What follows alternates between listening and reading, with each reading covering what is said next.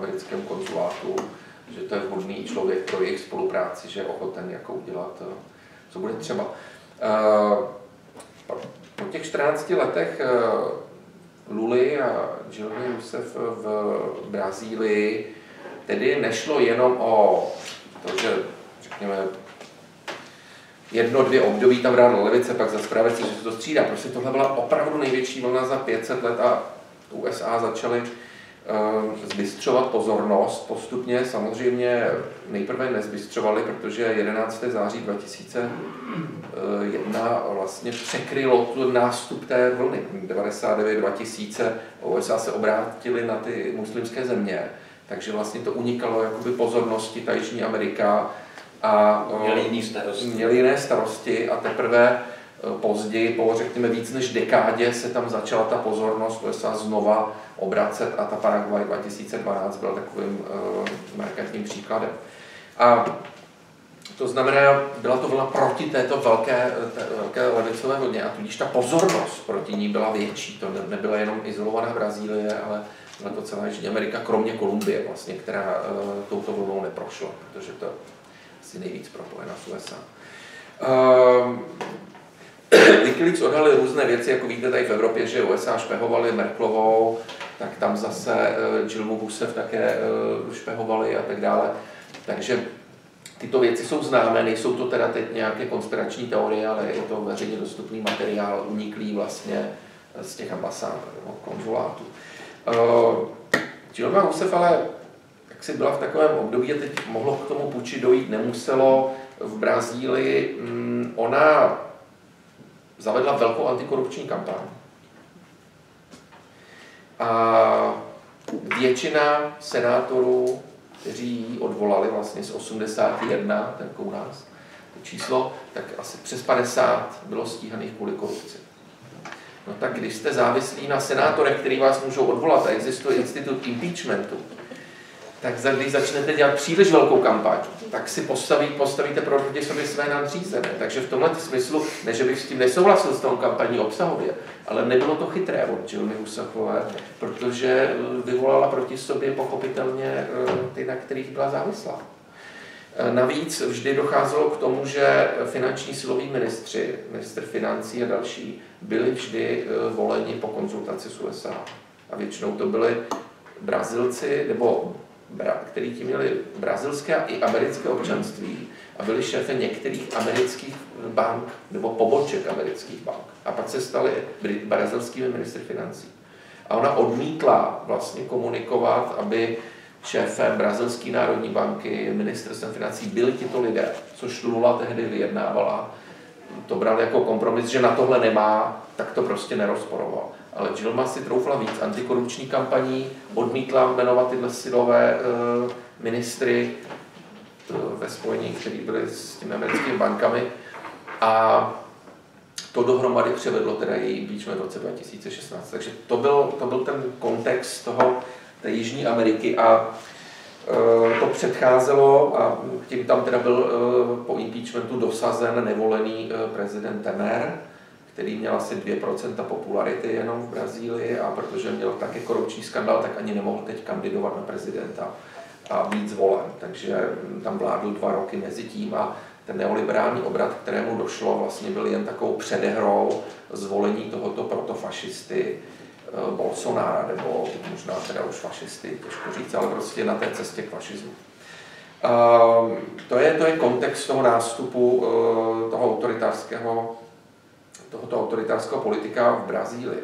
Tady bych ale přece jenom ještě trošičku diferencoval, uh, jaký je to typ pravicového politika. Uh, protože když chceme někoho kritizovat, nejenom jeho, ale jiné, tak je dobré znát svého nepřítele, nepřisuzovat mu charakteristiky, které nemá, nebo mu naopak přisuzovat něco navíc, něco namíň a tak dále. Uh, je obvyklé, že na pravici máme neoliberální a potom neokonzervativní proud. Ten neoliberální panoval poměrně dost dlouho do krize 2008, ale pak, když se ten neoliberalismus vyčerpal po 20-30 letech, protože nastupoval už v 80. letech, ještě před 89. za Stečkovou a s Reaganem dávno, tak eh, po té krizi 2008 začal slábnout a začaly ty neokonzervativní nálady vlastně panovat různě, které byly proti třeba nějakým globálním trendům a uzavírat se a Trump a podobně a mm, spojeny třeba xenofobí a podobně. To znamená, dalo se to identifikovat jako dva určité proudy.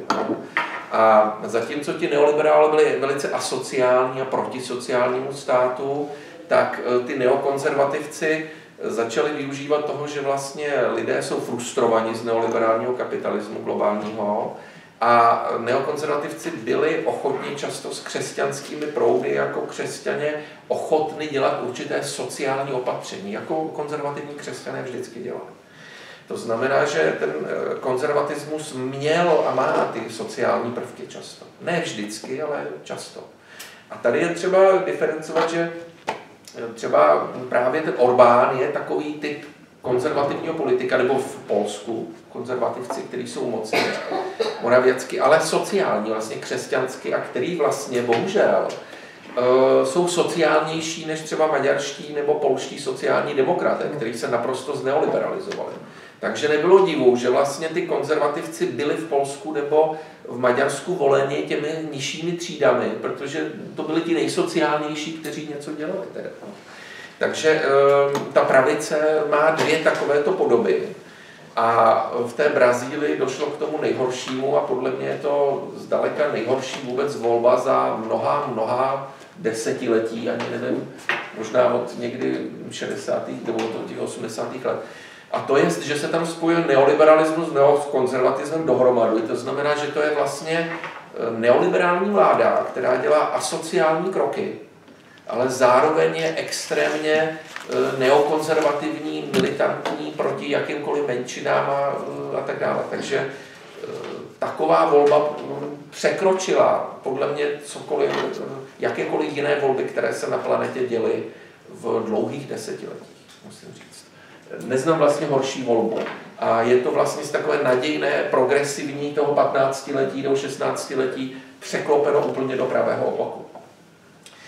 Eh, já bych řekl pár prvků, které jsou spojeny s některými body, co Andrea zmínila. Na prvním bodem je militarizace teda. Hmm, ta militarizace tam má podobu, že Bolsonaro skutečně říkal, no, ta naše policie je neschopná, říkají mi, on říká, pol, jsou přeplněné věznice. A on říkal, no, ty jsou přeplněné proto, protože policie je neschopná, neumí střílet. Ona jenom někoho zraní, prostě neumí ty lidi ani zastřelit a pak ty věznice jsou přeplněné. Takže policie by měla být efektivnější, říká, ano. E, je to opravdu jako politika násilí, nebo říká, no tak ve slamech e, tam dochází k větším krádežím, no tak když ty lidi nemají peníze, tak bohužel někdy jsou často nuceni něco ukrást, aby přežili vůbec. Tak říká, zase policie by měla ve slamech zasáhnout, Eh, ozbrojeným způsobem, nemazlit se s nima, eh, skutečně ty slamy početně eliminovat. Možná napal. Takže eh, to, je to opravdu, toto jsou vlastně, zatím se to neprovádí, ale jsou to doporučení, která jsou vyloženě fašistická, tato militarizace. Je to i proti mm, původnímu obyvatelstvu v Amazonii, jak už jsem zmínila, kdy Eh, vlastně taky podobně agresivně eh, vůči nim eh, vystupuje. Bolsonaro měl prohlášení, že ti konkistadoři, hm, ti, co dobývali ti Portugalci, Jižní Ameriku, tuto území Brazílie, byli méně výkonní než ti britští kolonisté, kteří dovedli Eh, prý pěkně si poradit s těmi indiány a vyhladit je téměř, tak eh, prý ti eh, brazilský dobyvatele, ti, ti portugalští byli méně efektivní a neschopní vlastně, že ano, proto nemůže tak obhajovat tu portugalskou kolonizaci oproti té britské. Takže tady je vidět jako další ta militarizace proti další skupině obyvatel, některé další Andrea zmiňovala. Já když jsem byl minulý rok eh, v Brazílii a tak spolupracuju s nimi. S Brazilci jezdím asi posledních deset let, asi od 2006 nebo 8 nějak takhle. Loni jsem tam byl dvakrát, když jsem byl v březnu v Brazílii, tak zrovna zastřelili Mariel Franco. Byli jsme na Světovém sociálním fóru v městě Salvador, Bahia. A s Mirkem Brokešem a s dalšími. A myslím, Veradora, radní na radnici v Rio de, Rio de Janeiro byla velice kritická vůči těmto tendencím, vůči korupci a militarizaci a tak dále Bolsonarovi a, a zavraždili tam demonstrativně, ne někde skrytě, jakože upadla a na něco by se to svedlo, ne, na hlavní silnici mafiánským způsobem, samopaly a jiným způsobem rozstříleli její auto, měla asi 15 ran, i její asistentka byla zavražděna demonstrativním mafiánským způsobem, aby vlastně odstrašili lidi, aby nekritizovali a tak vlastně tam došlo k takové politické vraždě. A všude pak v kampuse, kde jsme byli na univerzitě a po ulicích bylo Marielle jako nasprejované její jméno a demonstrace a tak dále. Takže bohužel tam docházelo i před zvolením ter, Bolsonára už k těmto tendencím. Dále k tomu té militarizaci patří i držení zbraní, které se teď má uvolnit. Bolsonaro tady postupuje podle vzoru USA, a říká, že lidi by měli být ozbrojeni, aby se mohli lépe bránit. Odborníci samozřejmě říkají, že to povede ještě ke skladce násilí. Brazílie už teď patří k jedné ze zemí s největším počtem vražd ročně.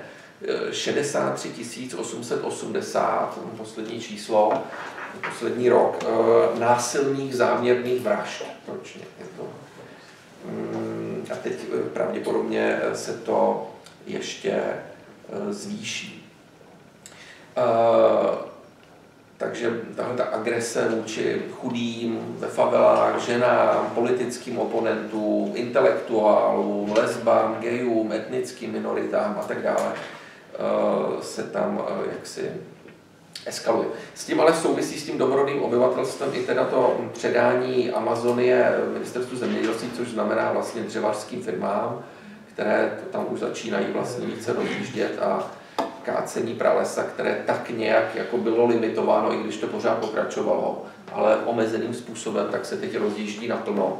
A Brazílie je vlastně, to je třeba si uvědomit, hlavní země na planetě, která produkuje jako individuál země kyslík.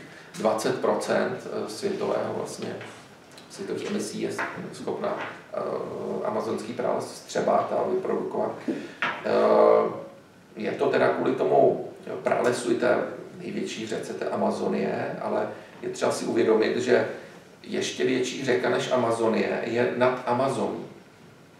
Amazon je ohromná řeka v deltě, eh, v, když jsme byli v Belemu na jiném světovém eh, sociálním fóru, tak v Belemu je eh, Amazonie široká asi 80 nebo 90 kilometrů.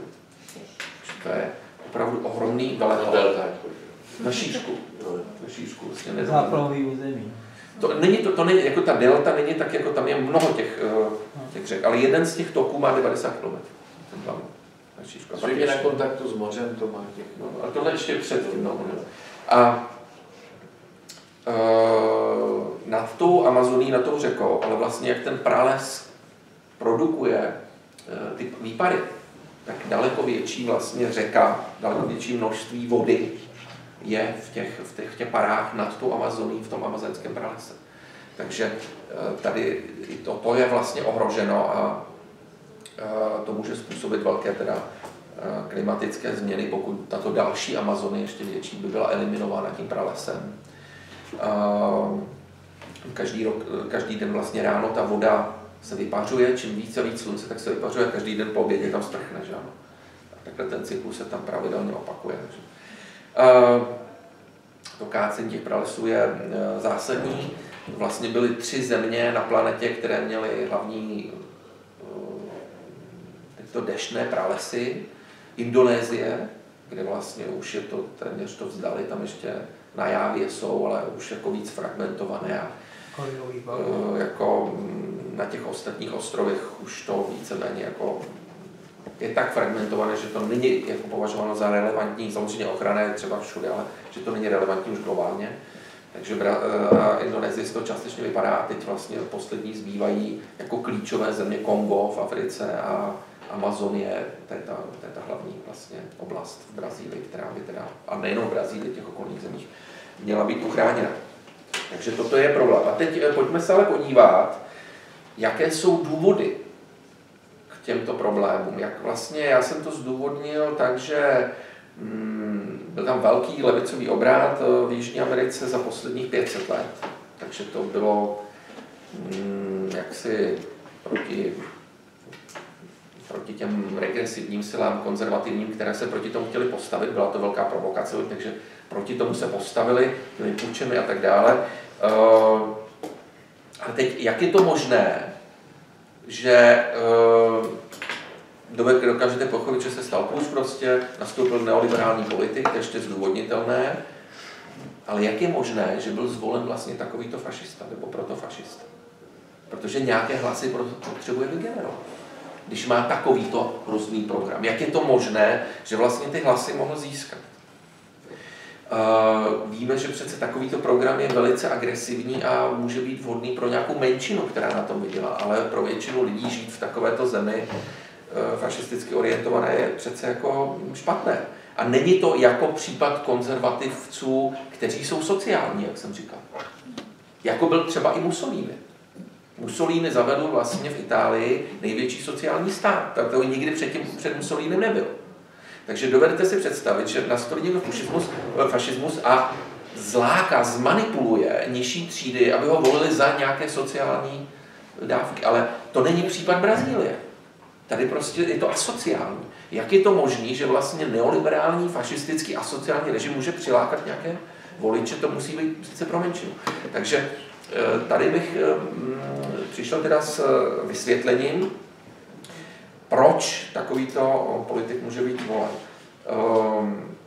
Navázal bych na analýzy kritické teorie společnosti z 30. let 20. století z Německa, kdy vlastně vznikly analýzy od Adorna a dalších, Orgenheima a tak dále, autoritářské osobnosti. Protože lidé se ptali, jak je to možné, že vlastně vůbec mohl nacismus v Německu se objevit. Teď levicové, radikálně levicové teorie očekávali, že má být světová revoluce, až bude krize. Krize nastala 1929, ale pak místo revoluce nastal nástup nacismu. Jak je toto možné vysvětlit? A bohužel nejenom pravicové síly, ale i mnohí dělníci podle Hitlera. Jak je toto vysvětlitelné? A vysvětlení přišli teda s koncepcí autoritářské osobnosti, které vyplývá z toho, která vyplývá z toho, že lidé vyrostli vlastně v rodinách, autoritářsky vedených, většinou se velice silnou rolí e, vlastně otce někdy násilného. Tady můžeme se podívat, kdo vyrostl za brazilské pravicové vojenské diktatury 64 až 85. A e, tyto tendence vlastně se předávalo určité autoritářství v rodině a lidé, když pak se v dospělosti dostanou do krize, tak neví, co mají dělat a hledají vlastně vůdce, hledají Führera, hledají Kaudila, hledají Dučeho. A v Latinské Americe je tento trend silnější než jinde. Proč? Samozřejmě e, tato vzdělání je tam horší v Jižní Americe nebo v Latinské Americe než třeba v Evropě. A ti lidé uh, neví často, koho mají volit poslouchají více vedoucí osobnosti, nejenom napravo, ale i nalevo.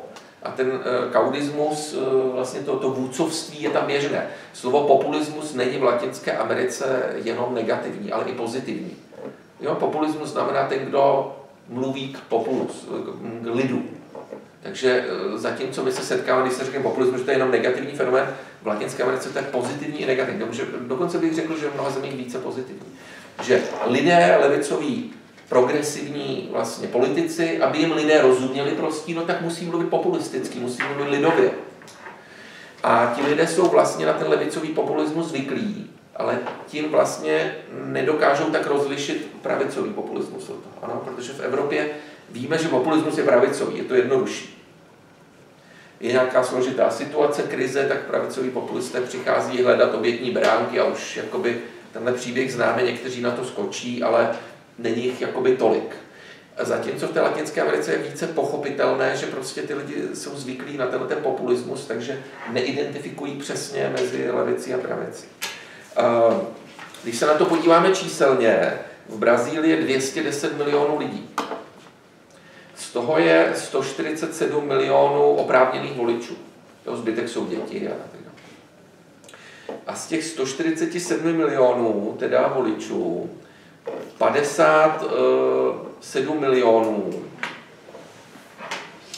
uh, volila Bolsonára. Uh, jestli se nemýlí, to tak, jo, Bolsonaro 57 milionů. To znamená, řekněte, to je vlastně čtvrtina Brazílie, když počítáte všechny. Jo? Takže si řeknete, to jako, není to většina populace, je to prostě čtvrtina populace. Ale no je to tak, víc, když volí naši kandidátů. Ne, je to třeba teď identifikovat, jakoby, to znamená, je to hodně, je to ohromné číslo 57 milionů, ale je to čtvrtina Brazílie z 210 milionů, jo, když počítáte se všem a tak To znamená, že musíme se ptát, musíme se, musíme se ptát, kdo to je těch 57 milionů lidí. A když odečtete teda ty, co volí, řekněme, z majetkových důvodů, že si řeknou, tak je to neoliberál, je to extremista, ale vyděláme na to. To znamená, když odečtete vyšší třídu a vyšší střední třídu, tak vám stejně zbyde asi, asi 25% brazilské populace. Jo, protože z 57 milionů můžete odečíst 7, 17 maximálně, který na to vydělají. Jo. Možná trochu víc, ale pořád vám zůstane zhruba 25% lidí, kteří ho volili jako bezdůvodně. A v rozporu se svými sociálními zájmy. Ano, ano. A tito lidé se domnívám teda, že ho volili z důvodu problému té autoritářské osobnosti. Že vlastně viděli eh, silnou osobu a on jim říkal, podívejte se, tak tady ve favelách jsou problémy. Teď oni věděli už 15 let, skoro měli levicovou vládu, brali to jako za samozřejmé, že ty sociální výhody neuvědomili si, že to eh, je něco, co můžou ztratit. A ty nejchudší, ty si to možná uvědomují, ale ty jsou fatalističtí. To je problém že vlastně po těch pětistech letech tam nejsou, ty, ty, to je vlastně lupen proletariát. E, sociologické výzkumy, když jsou dělány s těmito lidmi z nejnižší třídy, tak ty lidi řeknou, jo, možná o to přijdeme, tak nějak jsme k tomu přišli za toho Luli a Jill, to bylo fajn, možná zase to přijdeme, to my nemůžeme ovlivnit. To tak přichází a odchází, to my neovlivníme. Nebo nejdu. Takže e, to je velký problém jak vlastně tyto lidi eh, vysvětlit, že jejich hlas může mít nějakou váhu. Eh, když se podíváme na druhou stranu, tak vidíme, že kandidát Fernando Haddad, který prohrál, ale má za sebou 47 milionů lidí, vlastně ne takový velký rozdíl. Ano, o celou Českou republiku víc, eh, má Bolsonaro o 10 milionů, ale na Brazílii, která má 210 milionů, jestli máte 47 nebo 57, už není zas tak velký rozdíl z toho ohromného množství lidí. To znamená, eh, ta země je voličsky rozpůlená vlastně. Ano. Eh, tady bych ale ovšem řekl, že eh, tito kandidáti, jako je Bolsonaro, Haddad a další, ty měli ještě půl roku před volbami všichni tak kolem 10% maximálně. Někdo měli třeba 13, někdo ale 5, velice málo. Protože hlavní kandidát Lula, který byl před Žilmou prezident, měl popularitu mnohdy až 30%, že? Ten, kdyby mohl volit, tak vlastně vyhraje. Ale byl kriminalizován, byl vykonstruován politický proces